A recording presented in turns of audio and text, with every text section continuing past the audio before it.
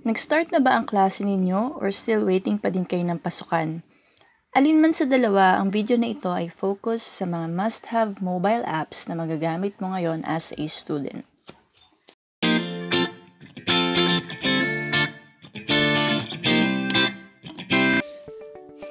Hello class, this is Teacher Elena. Welcome to my E-Class and Bytes, a channel dedicated to educate, to explore, and to empower through tips and how-tos for the new normal.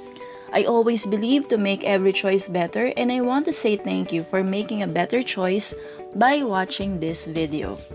Kung di pa kayo subscribed, please click the subscribe button and bell para notified kayo sa mga new videos ko every week. Like what I've said, this video will focus sa mga apps na makakatulong sa inyo as a student na need nyo i-download sa inyo mga mobile phones. These apps are my personal choice na sa tingin ko magagamit ninyo ngayon bilang student. So the first two apps are Facebook and Messenger. For sure, these apps are already downloaded sa inyong mga phones. Sa Facebook, we can read posts or join the Facebook groups na pwedeng i-create ni teacher na for communication for our classes. Sa Messenger naman, easier and cheaper way to communicate with our classmates and of course with our teachers as well.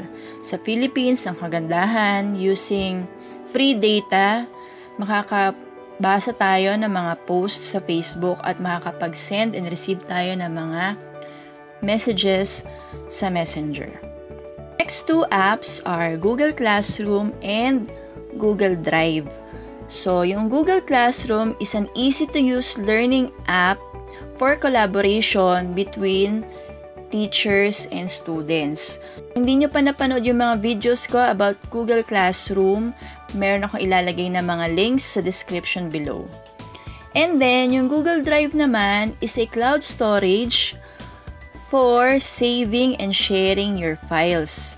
Meron din ako mga ginawang video about Google Drive.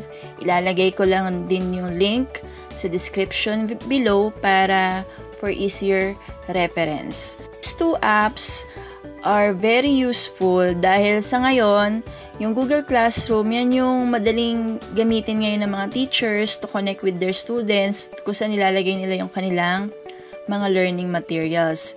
And connected siya sa Google Drive dahil automatic doon na save lahat ng mga files na ina-upload sa Google Classroom.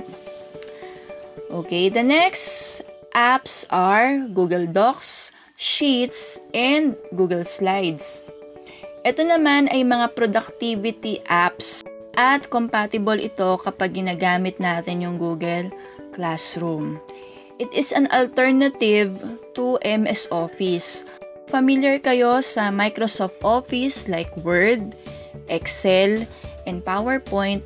So ito yung Google version ng mga apps na iyon. So maganda rin matuto tayong gumamit ng mga to dahil nga mas compatible siya kung gagamit tayo ng Google Classroom.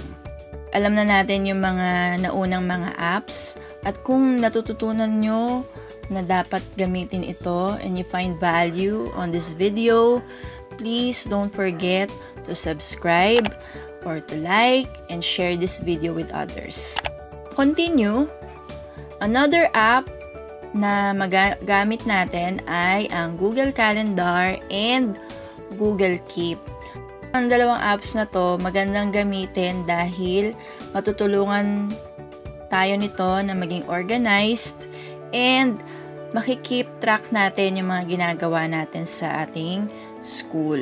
Google Calendar, pwede nyo i-plot doon ang inyong mga class schedules or kung meron kayong mga deadlines na classwork na dapat isubmit, ma-itatrack nyo doon or ma-record nyo doon. Then sa Keep naman, so para siyang organizer, electronic organizer, ganda rin gamitin ito para makapag-take down ng notes, kung meron kayong mga to-dos or mga checklist na kailangan gawin, Google Keep is the app to do that.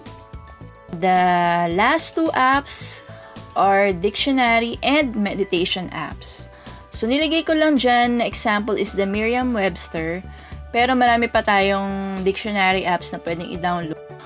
Ang dictionary, syempre alam naman natin, will help us to understand unfamiliar words.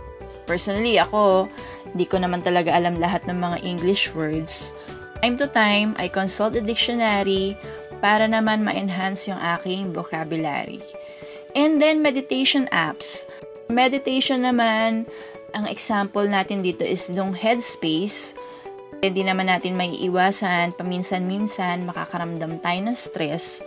At ito, meditation app na to, matutulungan tayo para kahit papano eh, maikalma natin yung ating mga pag-iisip para makapag-focus ulit tayo sa mga dapat nating gawin. So those are the apps na top picks para sa akin that can help you right now while studying. There are many more apps na pwede nyong magamit as a student.